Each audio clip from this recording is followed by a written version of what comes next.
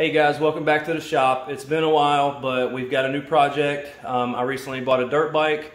Uh, bought it sight unseen for 500 bucks, and here it is. Um, I don't know what year it is. Uh, I think it's a 125 Yamaha two-stroke. Uh, that's about all I know about it. Um, it looks kind of rough, so let's uh, let's check it out.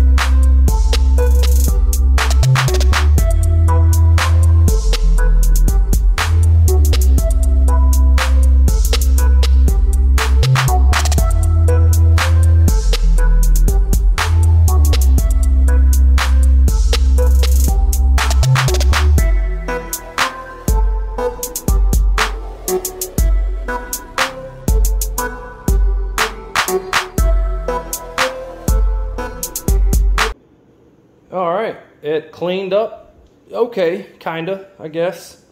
I mean, like I said before, its thing is rough, so um, wasn't a whole lot of cleaning was gonna help it. The wheels aren't too bad. They need a they need a little more love. Um, this right here cracks me up. Look at there. Mm, I don't think that's gonna stop a whole lot of mud. Um, this uh, is way too much tension. This shouldn't should not be like that. So got to figure out what's going on here. Um, this here is really concerning um, because normally you wouldn't have to open up the loom on a factory harness for any reason. So that's kind of got me a little worried. I don't know if this bike runs yet. I haven't even tried to crank it. Um, but just looking it over, I mean, I got look, I got a zip tie. What is this? I don't even know what that's going to. I guess it was holding that down. Oh, the fuel. Um, it doesn't quite reach, and it's going to need a chain. It's going to need some sprockets. Actually, wheel bearing in the back doesn't seem too bad. Front bearing is not too bad. Probably get by with not doing bearings on the front. Um, stem felt okay. Swing arm bearings or maybe maybe the linkage bearings or something's got some play in them. The rear brakes look okay. They've got a good bit of life left on them. The fronts are probably going to have to be changed. Oh, this is uh, removable. That's not supposed to be like that. Um, so I need to find a, a bolt for that.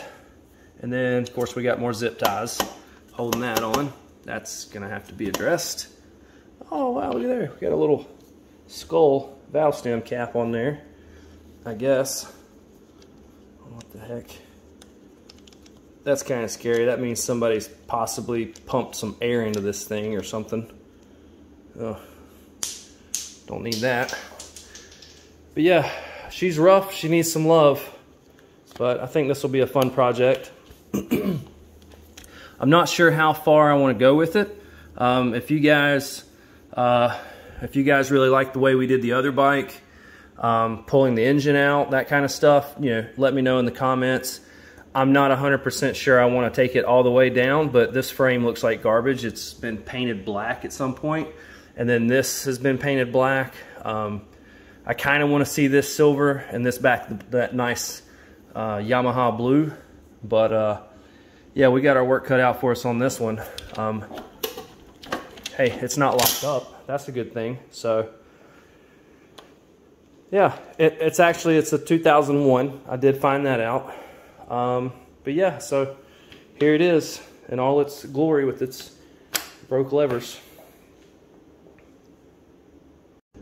All right, guys, thanks for checking out the video. Thanks for checking out my new project. Um, I need you guys to let me know what y'all want me to do with this frame. I think I think I may just bite the bullet and take it all down and just paint the frame back blue. I think it would make the bike look a lot better. Um, this isn't going to be a big long series like the other uh, bike build we did because I don't think we're going to have to split the case on this bike. I'm pretty sure this bike will run. Um, sound like it had some compression. I did just try to kick it over a little bit. Um, I don't want to do too much to it until I get some fluids in it and check it out a little bit better. Um, next video, we're going to strip it all the way down. We're going to take the wheels and tires, the plastics, probably the subframe, all of it is coming off. Maybe even take the forks off. I don't know yet. I may leave the forks on if the bearings feel good and just, well, I got to take the forks off anyway, so I'm going to have to put fork seals in it. So, yeah, next video, we'll strip it all down. Um, thank you guys for watching and uh, stay tuned.